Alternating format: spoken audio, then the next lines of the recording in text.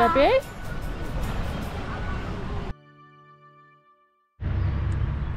Dzień dobry, cześć i czołem.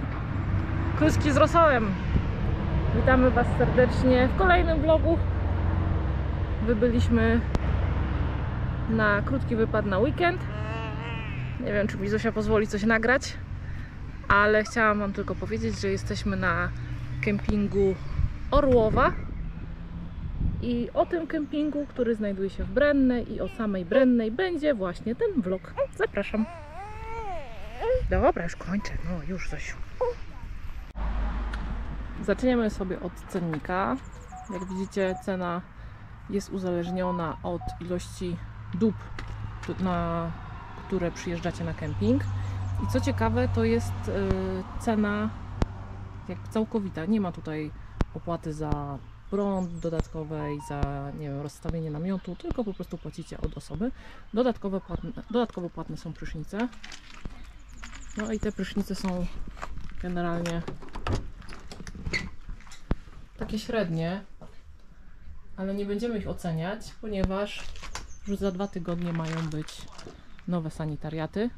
One są w tej chwili w budowie. Tam je widać. I całe pole to jest praktycznie to, co widzicie. Mała piaskownica. Pole w ogóle znajduje się w Brennej Leśnicy. I Jest dość daleko od centrum Brennej, więc jeżeli nie jesteście wykwalifikowanymi piechurami, to musicie się do centrum Brennej dostać samochodem albo rowerem, co kto lubi. Natomiast jest tu dosyć cicho i spokojnie, więc my na pewno wrócimy, ale poczekamy aż te sanitariaty zostaną wyremontowane, prawda? Proszę, co chcesz powiedzieć? Siemanko, to ja.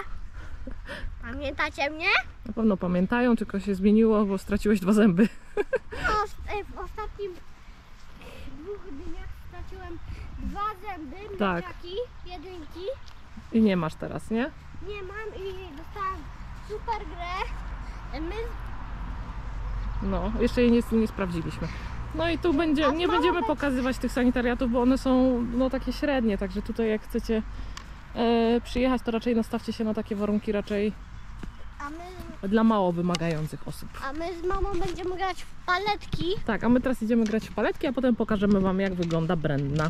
Tak? a potem jeszcze możecie zobaczyć jak e, gramy w paletki. Dobra. Jakieś 600 metrów od kempingu znajduje się taki punkt rekreacy- rekreacyjny z placem zabaw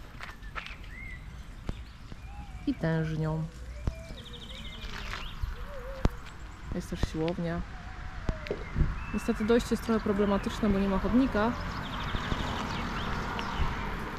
Ale na upartego da się tutaj dotrzeć w ciągu 5-6 minut piechotnym spacerkiem.